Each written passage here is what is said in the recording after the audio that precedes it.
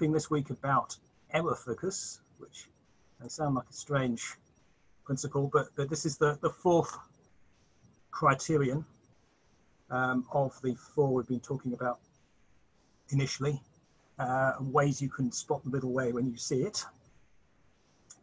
Um, and um, yeah, so the focus on error, I suppose the, the uh, perspective this comes from really is uh, the idea that we make gradual process, gradual progress uh, by making mistakes. Um, so, uh, I mean, it may seem at the, at the outset, you know, thinking about error as a negative emphasis, but actually, uh, it doesn't have to be an emotionally negative emphasis. Uh, it's just a realistic facing up to, I suppose, the, um, the limitations of our understanding of things, the degree of uncertainty we have as human beings, um, and that uh, what that implies is that we learn bit by bit, and we learn through a process of mistake, making mistakes and rectifying it. Um, and um, the, idea, the general approach um, that I'm using here in the middle way owes, owes quite a lot to Karl Popper and his approach to the scientific method, which was a, has been an inspiration to me, um, his, his philosophy of science. Um, and he was the one who first pointed out that um, science can make, uh, most crucially, makes advances uh, by recognizing what's false or what at least should be rejected. Maybe not absolutely false, but what is clearly worthy of not believing, um, as opposed to what we definitely should believe. Um, so he called that falsification. Um, and you can see that in the example, say, of the famous example of the white and black swans. So uh, every time you encounter a white swan, you can say, oh, well, this is a confirmation of my belief that all swans are white. And you meet another white swan and you think, oh, I know this, this is definitely true. Um, but then, of course, one day you may meet a black swan and then you'll have to reconsider what you thought. So actually, you've learnt a lot more by meeting a black swan than you did by meeting white swans. Um, the black swan has told you that your belief about all swans being white is wrong or at least no longer justifiable. Um, whereas each new confirmation you got just gave you a bit more confidence that swans are white, but it didn't really give you anything more than that. Um, so in a similar way, I think, if you're thinking about our individual progress, uh, each recognition of error, as we're practicing the middle way, can gradually help to integrate habits of judgment um, by making us aware of a little bit more beyond the set of assumptions we might have been making up to that point. Um, so yeah, you can see it as part of a, of a longer process, um, but also um, the focus on error is due to the, the limitations of the positive values that we may believe in. So, so now I don't want to um, disrespect positive values at all. I do think we all have them. Um, they inspire us and they're, they're our starting point. Yeah? So to give you some examples, um, a lot of people I would expect in this group have more or less left-wing political uh, ideals which probably means that they're going to really value social justice and care. Uh, so they're going to value um, paying attention to the needs of the poor, uh, avoiding disadvantage, increasing equality, uh, and caring for people who are in need. Um, so those are important values, justice and care. Um, and that can inspire a socialist, say, or left-wing kind of uh, political ideology or some other things that maybe might inspire people might be uh, nature and the value of the earth, uh, or the idea of awakening or spirituality in Buddhism or in other religions, um, or maybe the middle way itself might inspire you as a, as a positive value. So all of those values help to inspire us um, and guide us in our judgments. But the trouble is that just taken by themselves, those values are a bit of a blunt instrument. Um, So if we take them as how we should generally judge things, we should always um, try and improve justice and care, for example, that can start getting rigidified. Um, it can do that in, in various ways. So, so it can become rigidified by um, in-group, out-group assumptions, for example. So you might have a group of people who really believe in social justice, say, and that means that you uh, make false assumptions or very sweeping assumptions about people who don't share those values. Uh, so in the case of uh, left-wing views, that would be probably the Tories. Um, but obviously Tories are a complex group with all sorts of different motivations and um, you know, it's, it's a tradition in itself. Um, then um, we can also absolutize one value at the expense of others. But you know, there are various sorts of values that everybody has to some degree that um, play a part in our lives. Uh, and these have been um, investigated by the social psychologist Jonathan Haidt, um, who talks about uh, six values that, that, everybody has to some degree. So, so justice, care, freedom, loyalty, authority, and purity. Um, so, you know, for example, we, you could believe in freedom um, and um, want to make sure that everybody is free, but, but that will, uh, every time you're free, perhaps that might restrict the freedom of somebody else or justice for somebody else. Um, so, so there are always trade-offs, and um, whenever you use one particular value, it tends to impact on the other ones. Um, so, say for example, the freedom to wear cheap clothes uh, in the West may mean um, poverty wages for somebody in Bangladesh. Um, then the um, there's another point is that our positive ideals don't by themselves help us to make better judgments. Um, so uh, just having an ideal might tell you what you're aiming for, but not how best to bring about those goals. You know, so if your aim is social justice, for example, how do you actually improve things so that things get more just? Um, that requires a bit more subtlety and awareness of other values and how they impact on us so as to actually realistically make that happen. Um, so in order to, in practice, realize a lot of our ideals, we have to be able to look beyond uh, what they might seem to be telling us quite often. We can't justify unconditional commitment to our, our positive values or, or just deduce our beliefs from them. Um, but that is the traditional way that ideologies, political or religious or otherwise, tend to work. So they tell us that um, we should believe in a certain sort of value, maybe in religious terms, God's will, um, and we should follow what God's will tells us. Um, but uh, you know, that doesn't tell us uh, how to deal with the complexities of the biases and feelings that we might encounter and actually trying to put that into action, whatever we believe it to be. Um, so rather than just relying on positive values, I think we need to uh, think in terms of errors instead as an alternative, just because our errors are easier to identify. Um, so errors here doesn't just mean, it doesn't mean um, kind of sins or, or just um, you know, breaking particular rules. It's more um, in middle way terms when we uh, we make a judgment and we make it we absolutize as we make that judgment. Um, so in the specific context in the specific context where we're making our judgment, uh, we can identify an error when we have uh, made an absolute sort of judgment in that, in that situation. Um, now that, as an approach, doesn't depend on the content of the judgment. It doesn't depend what you're judging. It doesn't depend on the what. It's just about the how, the how we judge.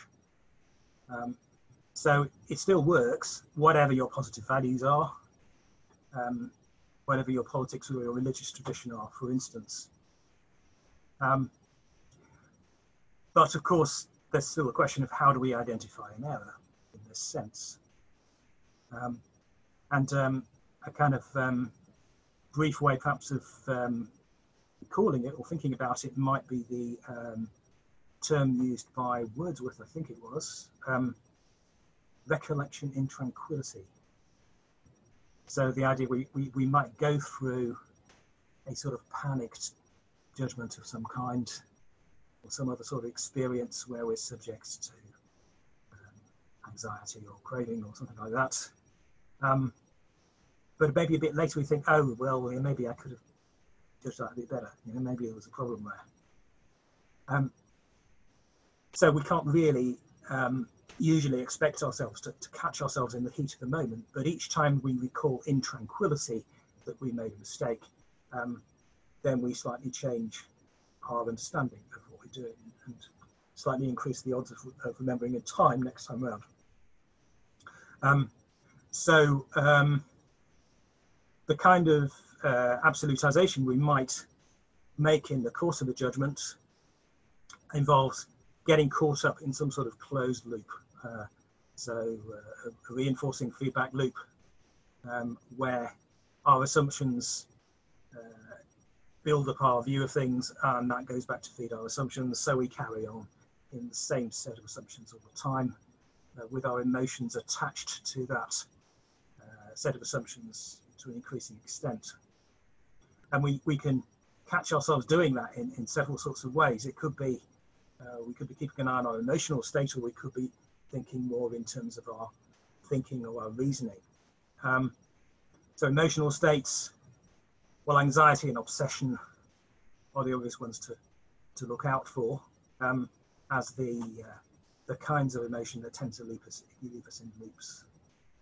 Um, so we could realize, oh, I got a bit anxious at that point um, and didn't judge that so well or you can look out for fallacies. Um, so fallacies, I think, are, are mainly kind of um, breaches of conventions in argument. So when we're when we're discussing something, particularly if we disagree with someone else, and we're trying to give them reasons to believe something, but uh, we do so in a way that tries to take a shortcut rather than going through what the other person needs to consider to change their view. So an ad hominem attack is an example of that. You know, so if instead of explaining to somebody um, what the reasons are for, for, why you think differently from them, you say, "Oh, well, you're not qualified to, to say anything about that," you know, or, or you're uh, you would say that, wouldn't you? You're just a Tory or whatever. Then that's um, an example of a, an attempted shortcut, and we might catch ourselves having done that and think, "Well, actually, I could have done that better." Um, or you can think in terms of, of bias, and again, there are a lot of biases identified by cognitive psychology that um, can help us to, to, alert us to ways that we might get caught up in loops. Um, so just an example of that, if you assume that if somebody does something disadvantageous to you and they must be totally responsible for it, uh, that's an example of a responsibility bias. So, so supposing somebody cuts in uh, on you in the traffic. Um, somebody does a risky maneuver and you assume immediately they did it deliberately and reflectively. They're responsible for it. But of course, there could be a whole variety of reasons why they did that. They were distracted by their small child in the back or something like that. Um, so, so there are various ways we can find errors, um, ways we can prompt ourselves to become aware of things we could have improved. And that I think is central to the practice of the middle way. In fact, if, if you think in meditation practice particularly, I think that that works in the same way that you, you catch yourself being distracted and then you're a bit more concentrated. It's not that you go straight to concentration and stay there, it's that you gradually work with your distraction.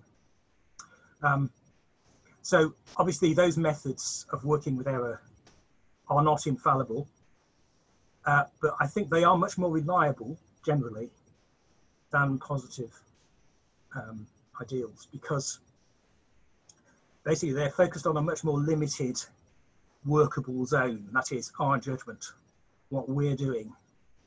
Um, and despite the difficulties of doing that which are considerable it's a lot easier to work a bit with our judgment and make some progress with it than perhaps to, to change everything else in the world on the basis of assumptions about everything in the world.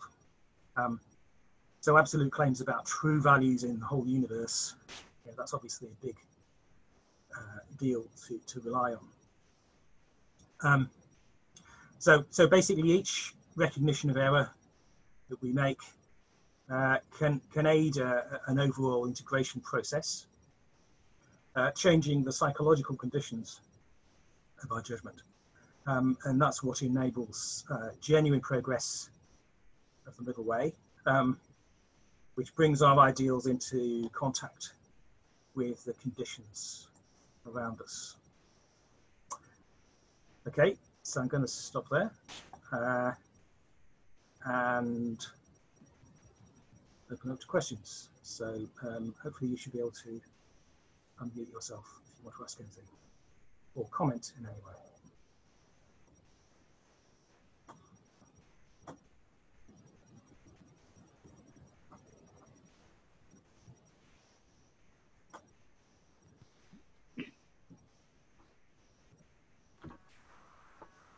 Hi, Robert. I can't find the put your hand up thing on, on my. Is it okay if I ask? Of course. Yeah, yeah, sure. Yeah. Um, from from what I remember, when I was reading the Thinking Fast and Slow by Kahneman and the mm. other person, um, he's he said there wasn't. I mean, the book was all about uh, fallacies and, and so on. If if you haven't read, um, it, but his point seemed to be that we're absolutely hopeless at spotting our own mistakes and that there's only really a, when you bring, but we're, we're quite good at, spotting mistakes in others. So, I mean, what, what, what role do you think there is for, for like bringing in other people um, as a way of, yeah. of spotting error or, or dealing with error?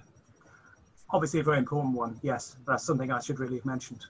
Yeah, um, I mean that's where the obvious um, great advantage of friendship comes in that, that if you know somebody well enough um, who is confident enough to challenge you in a in a uh, sustainable way yeah so rather than entering some sort of um, challenge for the sake of it or to score a point or whatever but is actually interested in helping you to develop um, if they if they can challenge you then that's a great way of getting a reflection on yourself and certainly I feel privileged to have that. Say, say in my relationship with my wife, because we challenge each other all the time, and we have that kind of view, and we still love each other. You know, so that's not a, an issue. Um, I expect a lot of you have those kind of relationships too. So, um, and um, and of course that's also what can happen in the context of things like uh, retreats, where maybe you, you spend time with people you know a bit less well, but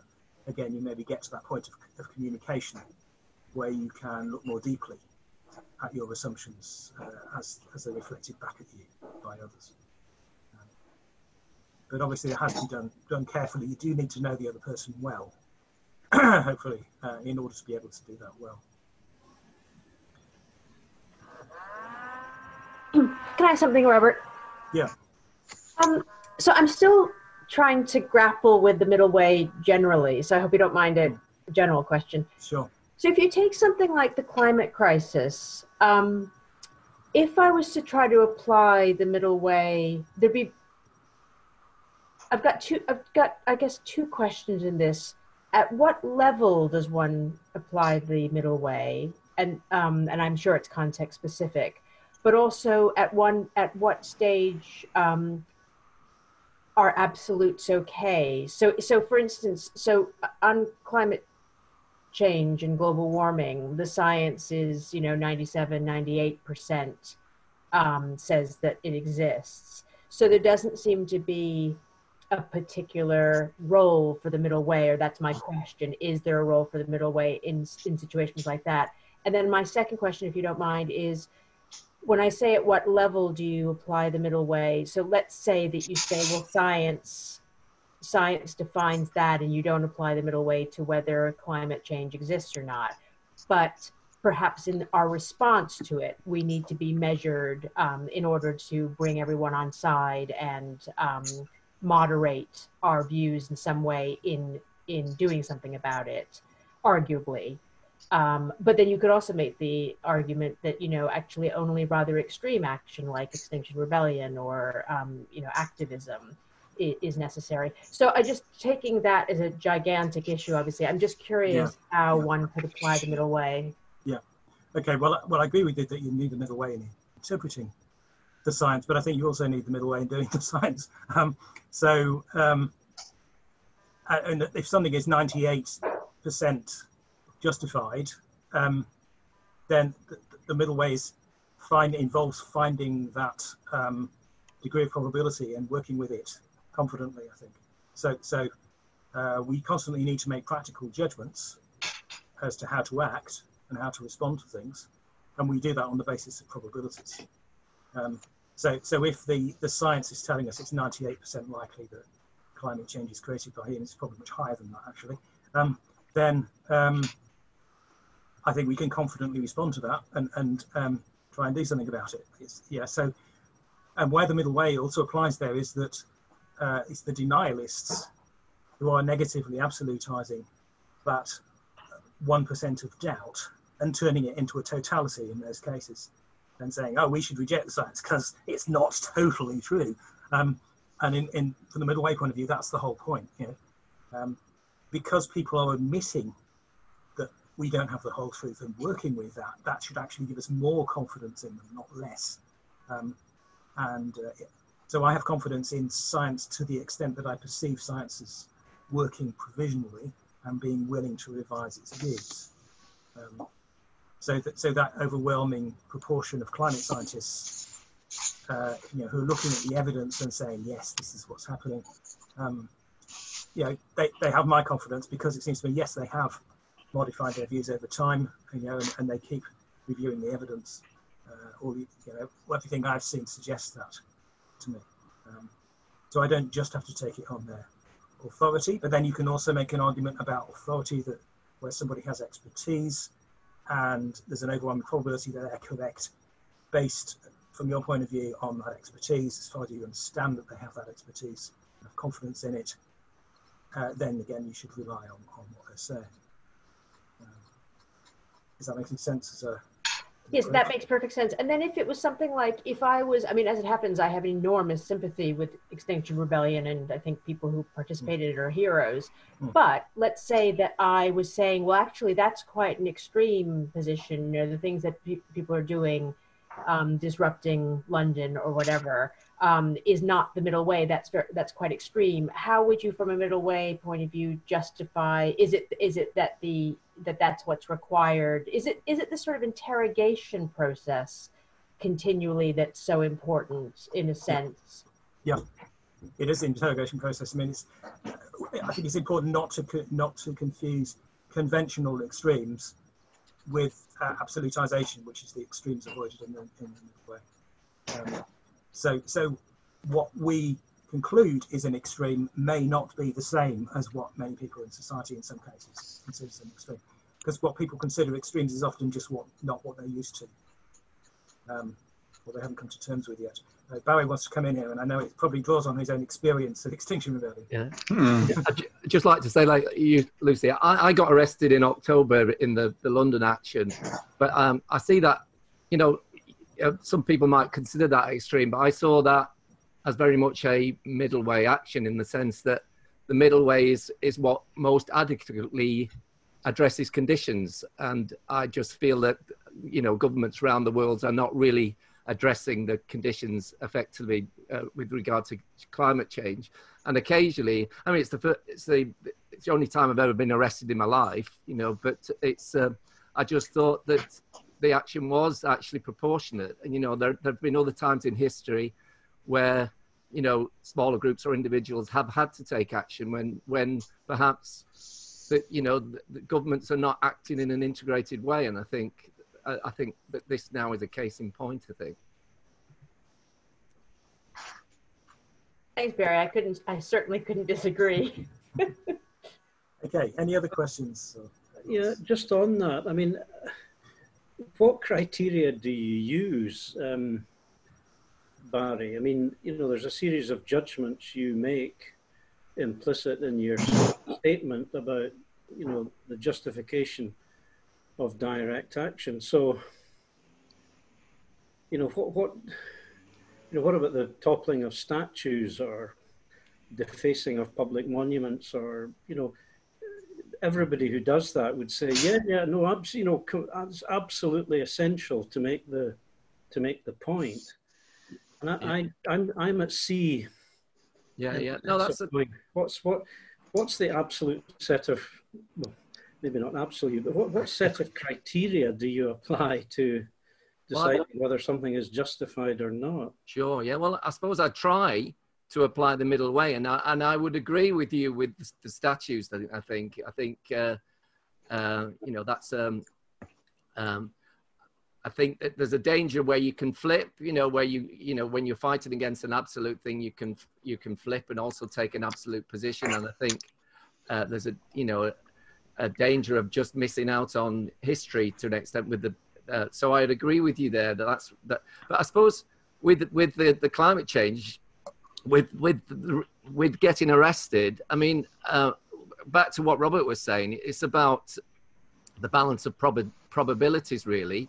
That's what i, I uh, it, it, seemed to me that the overwhelming yeah it just seemed um, it seems that it on the balance of probabilities um, um, you know that science seems to be telling us that we've only got a, a matter of months or you know most a couple of years to actually a few years to actually turn turn this around and all the evidence that I've read and heard in books, on the television, um, you know, admittedly from my my own echo chamber, I, but I do, you know, try to recognize error, and so uh, um, you know, and we've had various discussions ourselves, haven't we? So I mean, I I tr- do try to see other sides uh, of the argument, but um, to me. Uh, and again, um, also I have lots of friends who who um, who I feel you know have have um, balanced views on this. Well, not all of them, but but uh, uh, listening to a wide range of people and taking in as many sources as possible, I made a provisional judgment to to get arrested. Now, I'm not saying I will do that again, but it just felt right at the time, and it was also confirmed in many ways when I was at the, the station. The police, a couple of police police officers actually came up to me and, and thanked me, um, and that you know, it, so there was there was there was various evidence uh, that was you know seemed to indicate that what I'd done was proportionate, but. Um, but I welcome your question. You know, I mean, uh, I would, I would, I'd be interested to know why uh, uh, are you at sea or are you actually do you think you know doing something like that actually uh, you know is uh, is pejorative to the to the the whole thing?